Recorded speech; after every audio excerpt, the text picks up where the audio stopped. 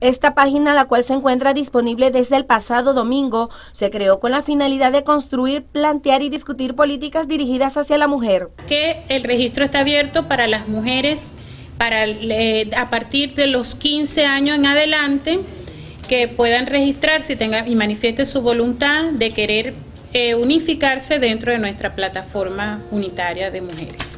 Este proceso se mantendrá abierto hasta el 25 de este mes. Posteriormente quedará disponible de forma permanente, realizándose las inscripciones de manera organizada. Ya se conoce a nivel nacional, se logró la instalación del registro en todas las plazas Bolívar. También se activaron eh, de manera itinerante las planillas que fueron bajadas por la página web y que están desplegadas en todas las comunidades, sobre todo en las bases de misiones. Eh, Hasta la fecha se han inscrito 4.000 mujeres y la meta de inscribir en el estado Anzuategui es de 118 millones. Desde Barcelona, Gladys Mongua, Anzuategui Noticias.